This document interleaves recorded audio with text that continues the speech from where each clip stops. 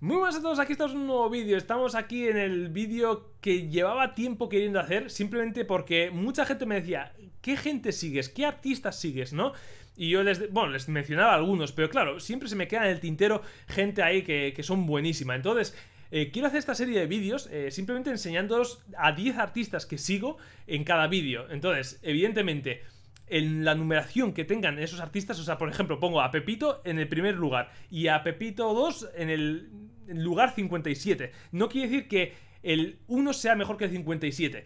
Llegados, o esto es mi opinión, llegados a un nivel ya, eh, a un nivel alto me refiero, ya no hay mejores o peores artistas, sino que hay artistas diferentes. Entonces, todos los artistas que os voy a mencionar aquí son diferentes. No es que sean unos mejores que otros, simplemente son ya estilos diferentes o han ido por caminos diferentes y simplemente me gustan sus obras por el estilo que tiene cada uno, no porque sean mejores o peores. Entonces, ya os digo, la numeración que vaya a hacer en los artistas, o sea, vamos a llamarlo que eh, hoy vamos a enseñar los artistas número 1 hasta el número 10, pero no quiere decir que los vídeos que traiga después sean artistas peores que los de este vídeo. No, son diferentes, ¿vale? Quiero dejar eso claro porque eh, muchas veces se lleva a confusión y además por cierto, otra cosita, antes de empezar ya con el vídeo, ya sé que me enrollo como las persianas, pero antes de empezar con los vídeos, me gustaría decir que sé que va a haber muchos artistas buenos que no aparecerán en mis vídeos. Y simplemente es porque igual sus estilos no es que me atraigan demasiado. O sea, por ejemplo, el cartoon cartoon, o sea, me refiero a cartoon como, yo que sé, de estas películas cartoon,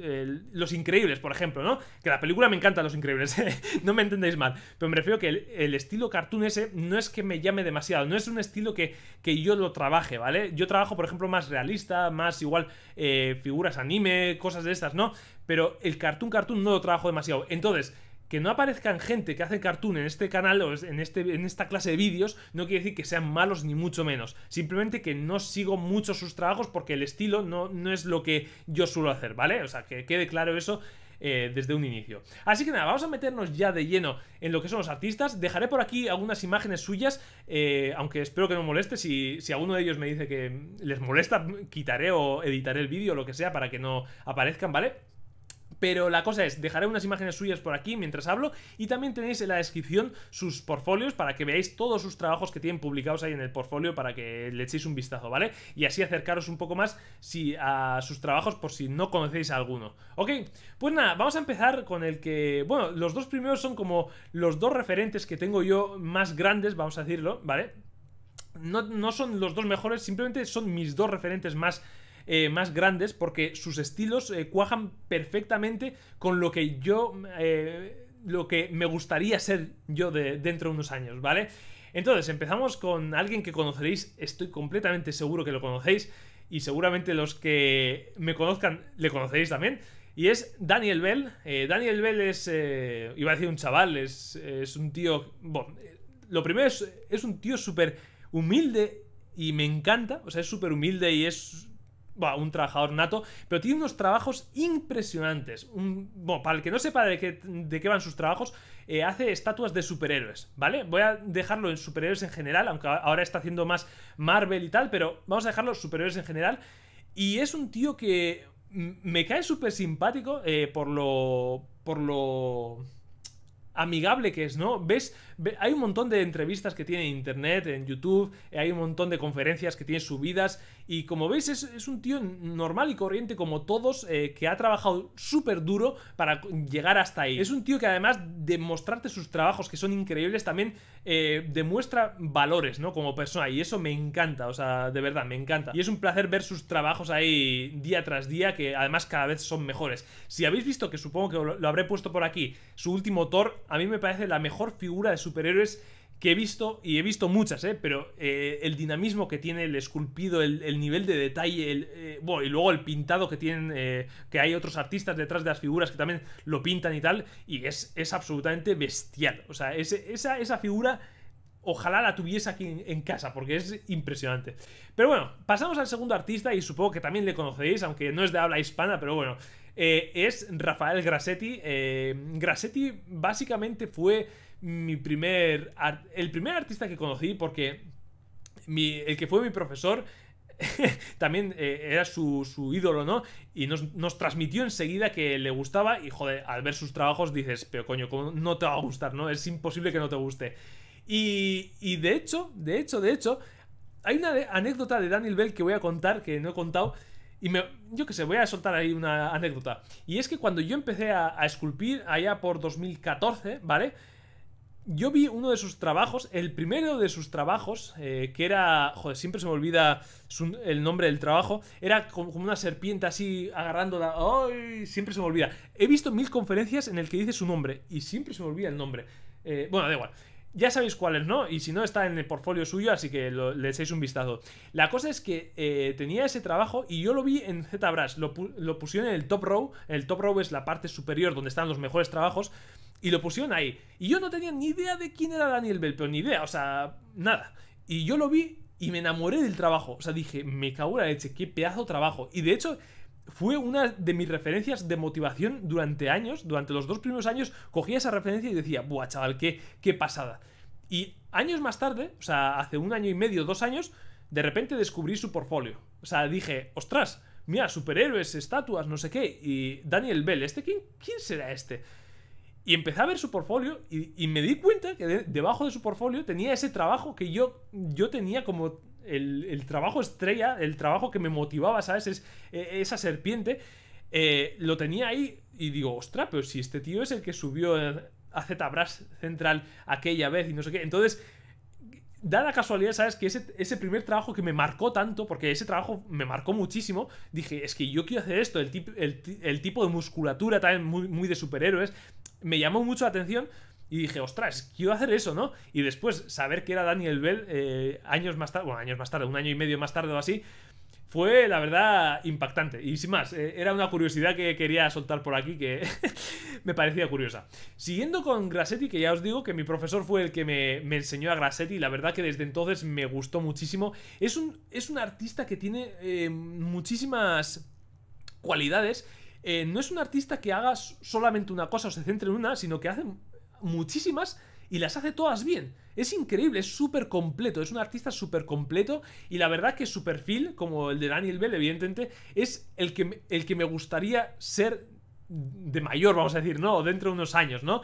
Porque eh, Daniel Bell trabaja en Sideshow ahora mismo, que Sideshow es la mejor empresa de figuras, vamos, es el top a lo que puedes aspirar en cuanto a estatuas coleccionables. Y, bueno, dices, joder, es que quieres hacer superhéroes y quieres trabajar en Sideshow. Es, es un sueño para mí. Pero es que Grassetti encima trabaja en Santa Mónica Studios eh, haciendo el nuevo God of War. Bueno, que ya lo ha hecho, ahora está en el siguiente juego, pero me refiero. Mis dos sueños siempre han sido los videojuegos y las estatuas coleccionables. Soy eh, jugador de videojuegos, como sabéis, muy bien sabéis, y soy también coleccionable de, o sea, coleccionista, mejor dicho, de estatuas. Joder, ¿Qué, más quieres soñar que trabajar en Santa Mónica Studios y trabajar en Sideshow, que es lo que hace Rafael Grassetti, ¿no? Es absolutamente increíble su trayectoria. Lleva muchísimos años ya en la industria. Eh, es brasileño, por si no sabéis. Eh, bueno, supongo que sabréis todos, pero bueno, es brasileño y lleva muchísimos, muchísimos años esculpiendo. De hecho, en Brasil hay una cultura de, arte que es muy diferente a otros lados. De hecho, muchos artistas son brasileños y es impactante, o sea, el, nivel que tienen muchos brasileños en, en, esto, en escultura y en dibujo. Es impresionante. Luego también hablaré en otro vídeo porque eh, quiero separarlos en otros vídeos para comentar cosas distintas, anécdotas distintas, pero su compañero Glauco Longi, la relación que tenía con, con Grassetti, y tienen, evidentemente, y su trayectoria me gustaría comentarla un poco, pero en otro vídeo. Prefiero separarlos para hablar en distintos vídeos, ¿vale? Pero bueno, ya os digo, trayectoria súper completa. Podéis ir a su web, a la de Grassetti, tenéis todos los trabajos de Grassetti por allá y es impresionante. Es impresionante. Pasamos a otro y es Adam Fisher. Adam Fisher es un tío, o sea que eh, yo lo descubrí en YouTube, si no me. Si no recuerdo mal. Tiene un tutorial de pintado de piel, de color y tal en ZBrush. Y dije, ostras, ¿quién es este tío? Y dije, vi el trabajo y dije, uff, este trabajo es potente. Y en eso que empecé a investigar, eh, vi sus portfolios, el ArtStation, joder, impresionante. Es un, es un artista, o sea, que también ya, ya os digo, este tío hace más realismo, vamos a decir. Eh, se separa un poco del tema de superhéroes, aunque ya sabéis que no, no todos son superhéroes lo que hago, pero es lo que más me gustaría hacer, pero me refiero que eh, las cosas realistas también me molan, pero, pero, también tiene cosas de ciencia ficción y tal que molan muchísimo. Y la verdad que es un artista, vamos, para mí, el, la mano que tiene, el, el, el sentido del volumen que tiene me gusta muchísimo. Y la verdad que os recomiendo muchísimo que, que lo veáis el portfolio debajo en la descripción, como, como ya os digo, pero tiene trabajos súper, súper, súper buenos.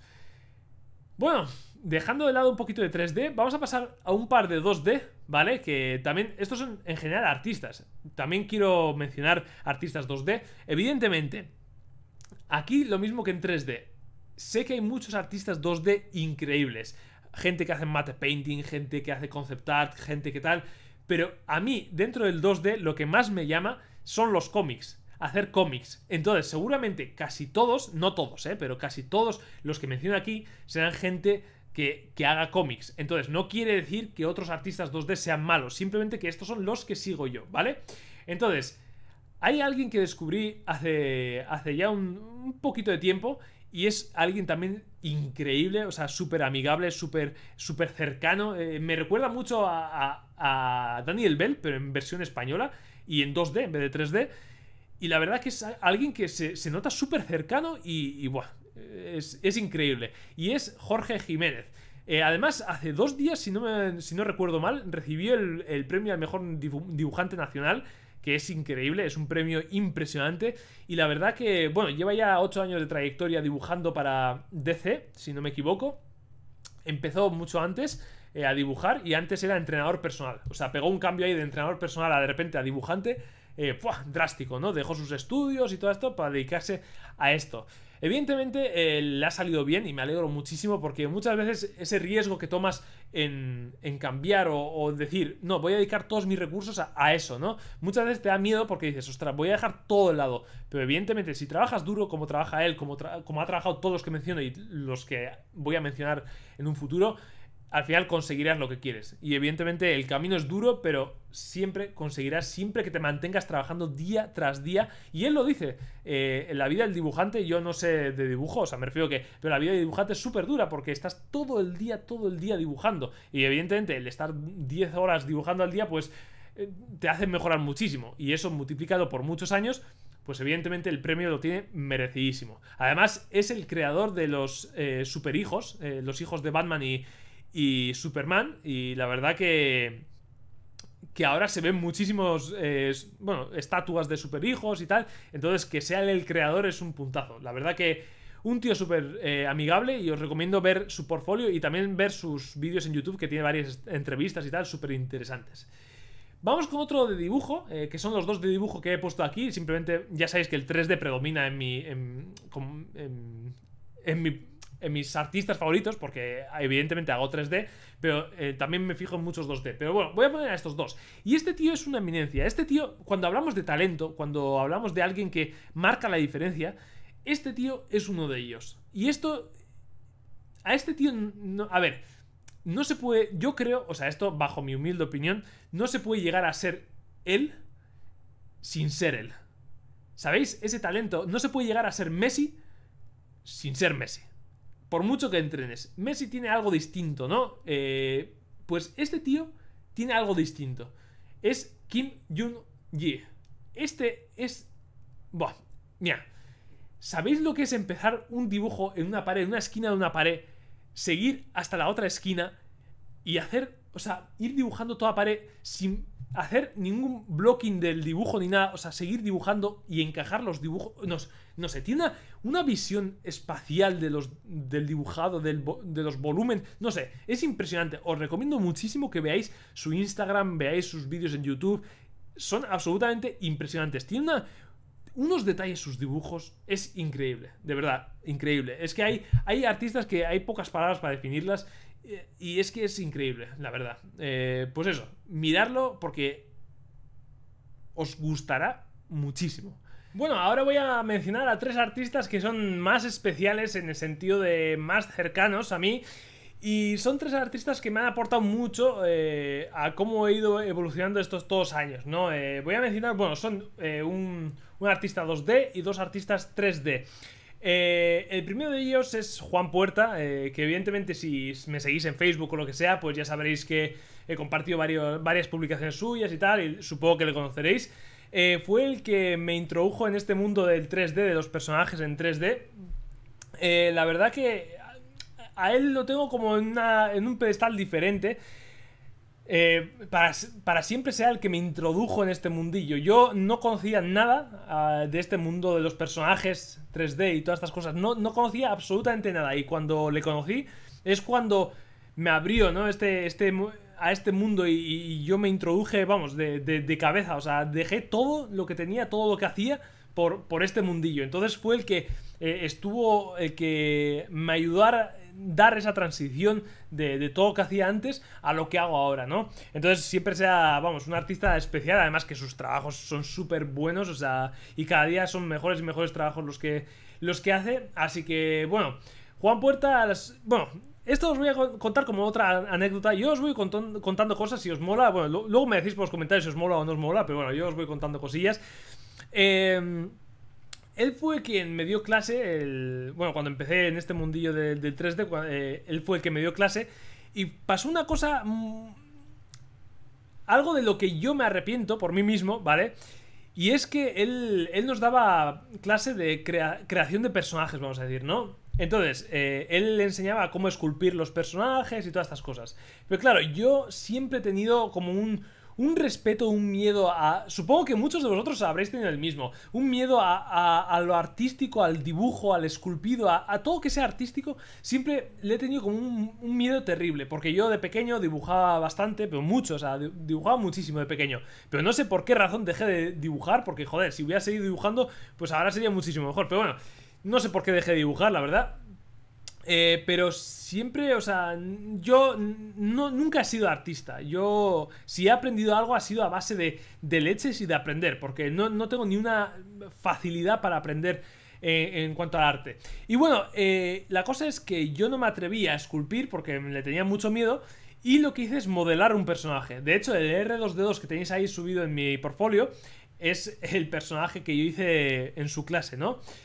La cosa es que cuando empezó el segundo semestre, es cuando nos obligó, porque he visto que había gente que no esculpía, como yo, pues nos obligó a esculpir, porque bueno, era prácticamente eh, una cosa que tenía que dar él en clase, ¿no? Entonces, eh, al obligarnos, pues yo no tuve más remedio que esculpir.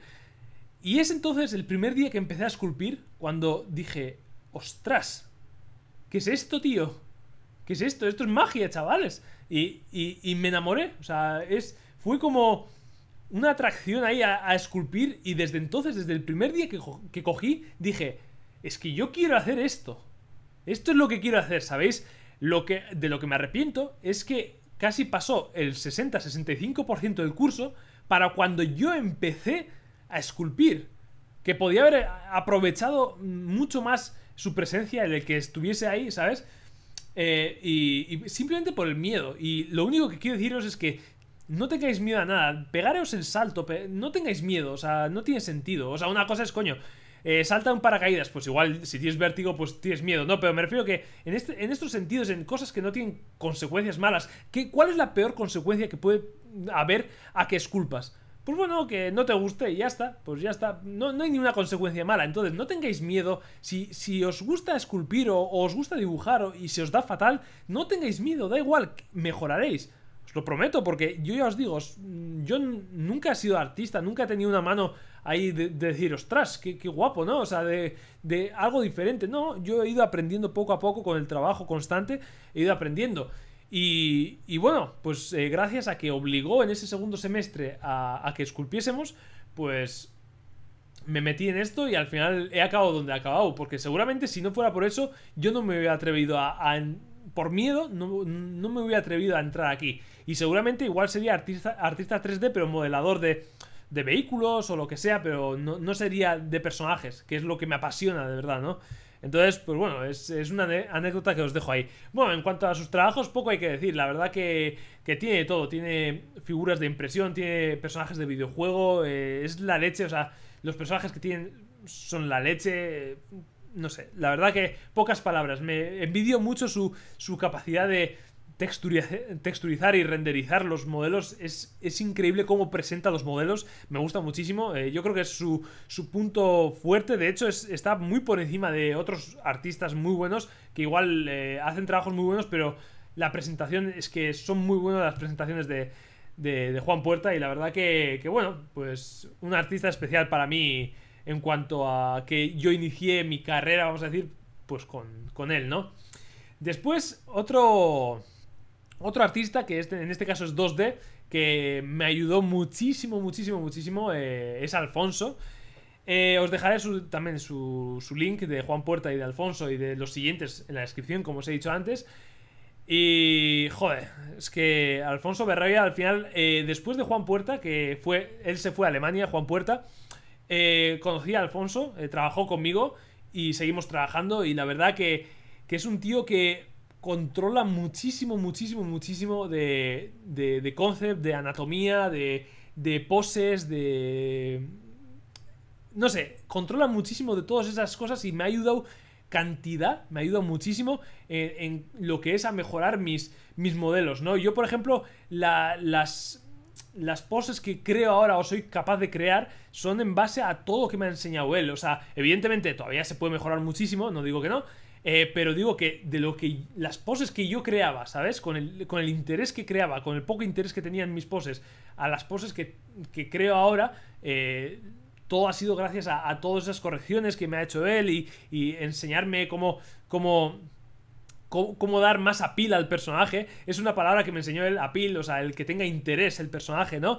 Y, la verdad que te coge un personaje y te dice, mira, pa, pa, pa, cuatro rayas ahí, te coge, te dibuja cuatro rayas y de repente te dice, ostras, tú, que este era mi personaje, ¿sabes? Y, y, ves su concept basado en tu personaje y dices, wow, pero ¿cómo ha cambiado esto, no? O sea, con cuatro toques que, te enseñan, pues e, es un concept artist bestial, o sea, bestial.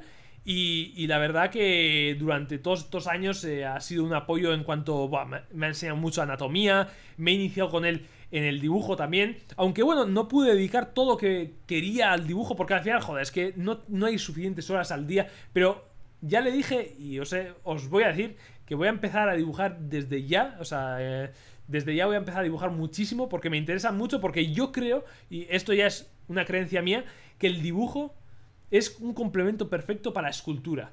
Y además, eh, que muchas veces dibujando, eh, sí que he mejorado un poquito, no, demasiado, pero bueno, eh, he, mejorado un poquito y eso me ha ayudado bastante a la hora de esculpir. Entonces pienso que si dibujo más, puede ser que me ayude un poco más a, a, la hora de esculpir. Ya os diré, o sea, cuando termine, cuando empiece a mejorar el dibujo, a ver si me afecta de alguna forma positiva en la escultura y si no me afecta también os diré, o sea, os diré, no, eh, no he hecho nada, eh, pues bueno, os diré también. Pero bueno, la verdad que un, tío de la leche que, me ha enseñado muchísimo, de hecho también tiene un canal que se llama Centro Pixels, que es eh, su centro, donde él y yo damos clase, y... Ahí tienes, tenéis esto, tutoriales de concept y tal, que, que da él, o sea, unos mini tutoriales que están muy bien y la verdad que es, no sé, sin palabras. Además, como el 2D, tío, es como un, mundo que, se me hace tan grande, ¿sabes? Eh, no sé, eh, me parece bestial el trabajo que hace, es impresionante. Y él, por último, eh, el, otro, el otro artista que, que, lo tengo ahí como, como en otro nivel, vamos a decir, ¿no? Es Raúl Latorre, que es un tío súper majo también, o sea, es súper humilde, súper, vamos, familiar, vamos a decir, ¿no?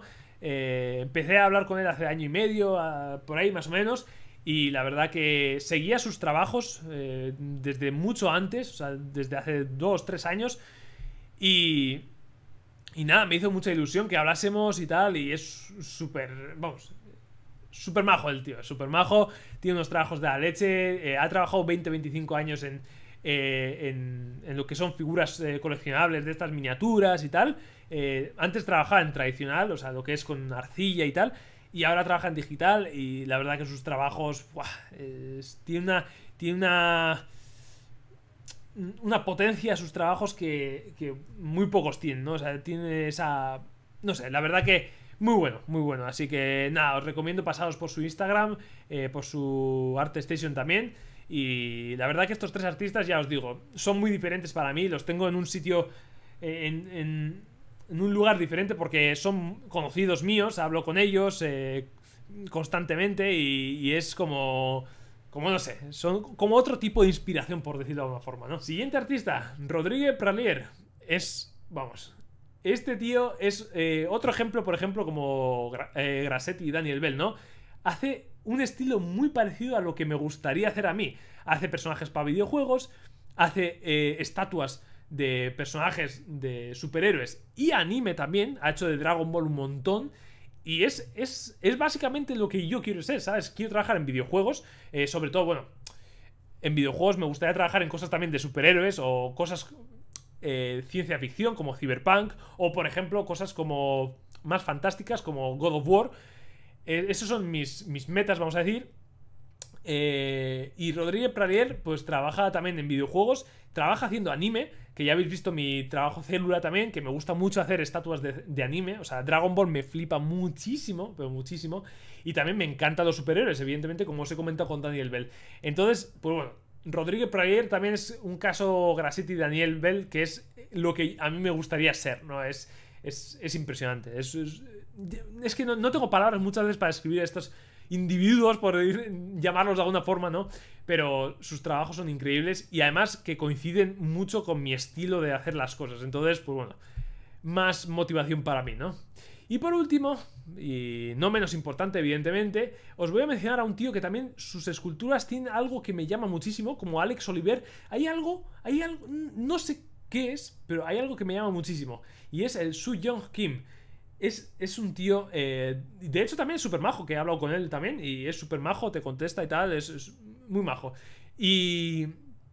Hace también estatuas y tal. Eh, joder, pero tiene un toque.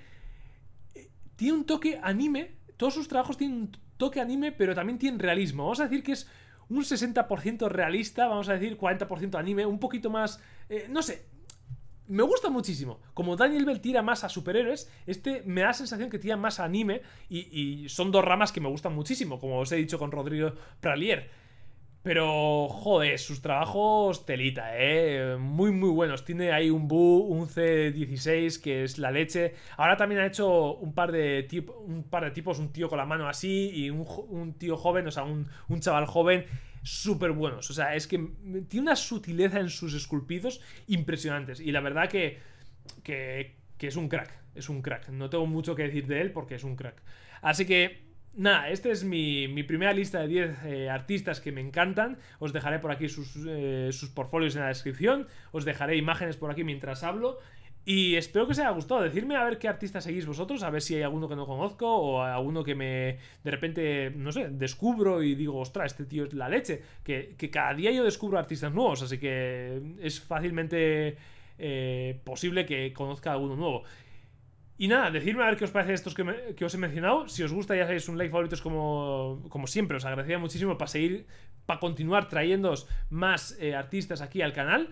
Y poquito más. Nos vemos en un siguiente vídeo. Un saludito a todos y adiós.